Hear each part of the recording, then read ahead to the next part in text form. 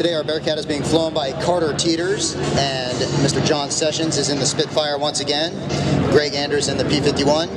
And I want to talk a little bit to the ladies out there because that B-25 up there is being flown by Vera Martinovich. So I just wanted to let everybody know that this isn't just a man's game out there. Any women out there that are interested in flying some of these warbirds, it's definitely a possibility. And Vera happens to be doing that. A little about uh, Carter Teeters. He's an instructor with Alaska Airlines on the Boeing 737, has over 6,000 hours, lives in Browns Point, Washington, and is a uh, Vietnam vet. He was in the Army from 1968 to 1969 and uh, is quite the pilot. He flies all sorts of different things, like uh, three different Grumman cats, the Wildcat, the Hellcat, and the Bearcat. Not too many people get to say that. Yeah, Carter stays busy flying our Bearcat all around, and the Bearcat is the last in a long line of the cats that were produced by Grumman. Another thing that will be noted by a lot of air race fans out there is the Bearcat is a phenomenal air race aircraft. It's the Rare Bear is one of the winningest aircraft uh, racers of all time. That's right. Rare Bear came this close to winning the Unlimited Gold race last year. I tell you, a lot of disappointed people when when he pulled up because the engine started overheating. All right, looks like we got the aircraft coming in from the right this time.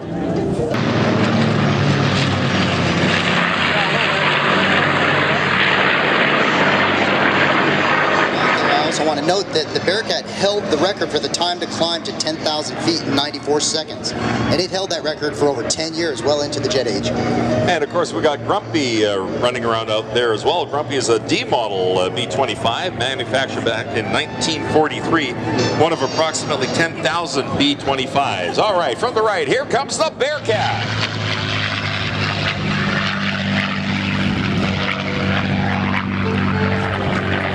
Okay, as these aircraft get set up to land, I also want to invite everybody that hasn't had the opportunity yet.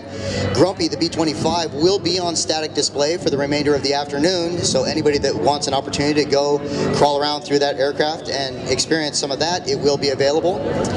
While you're over there, you can also get information about how you can get a ride on that aircraft.